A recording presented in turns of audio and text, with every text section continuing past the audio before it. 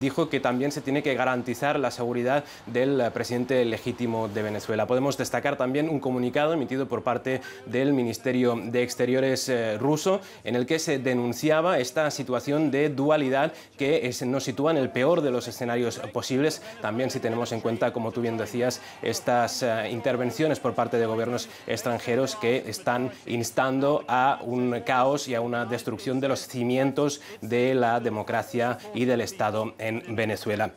Es una situación de continua escalada que nos eh, incrementa la división que hay en las calles y que también nos eh, aboca a un conflicto que podría llegar a ser sangriento. En estas mismas palabras lo dice este comunicado y por lo tanto se debe hacer todo lo posible, se insta desde Rusia para buscar el diálogo y buscar una solución eh, pacífica. También hacen una llamada a los políticos opositores a no jugar a un juego de ajedrez en el que ellos son peones, dice estas palabras. El ministro, el Ministerio de Exteriores ruso eh, también insta a la comunidad internacional a buscar un equilibrio de fuerzas para la región. Gracias Rubén por los detalles. ¿Y cómo vivió Venezuela esta jornada llena de disturbios? Nuestra corresponsal Erika Ortega Sanoja nos trae la crónica. Fue una jornada intensa la de este miércoles en Venezuela.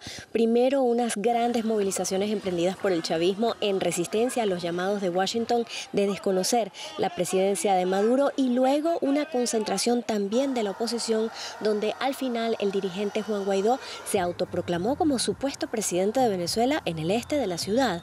Pero al centro, en Caracas, donde se asientan los poderes públicos del Estado, el presidente Nicolás Maduro tuvo una alocución en el Palacio de Miraflores sede del Gobierno Nacional. Allí, en cadena nacional de radio y televisión, le habló a sus seguidores y al mundo entero desde el balcón del pueblo que no se había usado desde la última vez que habló allí el comandante Hugo Chávez antes de su fallecimiento. Fue ese el sitio donde mm, el presidente alertaba al mundo que en Venezuela está en marcha un golpe de Estado promovido desde Estados Unidos, por lo que decidió expulsar del país al cuerpo diplomático de esa nación acreditado en En cumplimiento de mis funciones que juré frente al pueblo de respetar y hacer respetar la independencia, la soberanía y la paz de la República, he decidido romper relaciones diplomáticas y políticas con el gobierno imperialista de los Estados Unidos. Fuera, se van de Venezuela. Basta de intervencionismo. Juan Guaidó respondió a esto con un comunicado que tiene el membrete de la Asamblea Nacional y que fue dirigido a las embajadas presentes en Venezuela. Asegura que mantendrá relaciones diplomáticas con todos los países del mundo en su supuesto gobierno, pero desde Estados Unidos Mike Pompeo respondió que va a mantener relaciones diplomáticas a través de él, de Guaidó, y que Maduro no tendría, según él, la autoridad legal para romper relaciones diplomáticas. Ante todo esto, podrían preguntarse algunos, bueno, ¿cuál es la posición de la Fuerza Armada. La duda la despejó el ministro del Poder Popular para la Defensa, Vladimir Padrino López, quien dijo que no aceptan a un presidente impuesto ni autoproclamado al margen de la ley.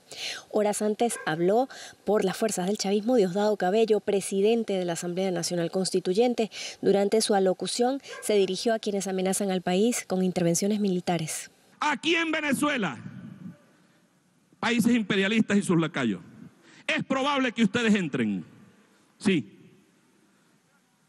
lo que no está claro es cómo van a salir. Y ahí tenemos nosotros el ejemplo del pueblo cubano. Tomemos el ejemplo de los hermanos cubanos. Tanta lucha, tanta pasión, tanta furia del imperialismo con Cuba y no han podido. Y con Venezuela tampoco podrán. Después de la autoproclamación de Guaidó, hubo disturbios hacia el este de la ciudad en las mismas zonas de las guarimbas del 2014 y 2017. Se produjeron también unos cacerolazos, al menos en algunas zonas de Caracas, pero el chavismo está tranquilo y a la espera de instrucciones.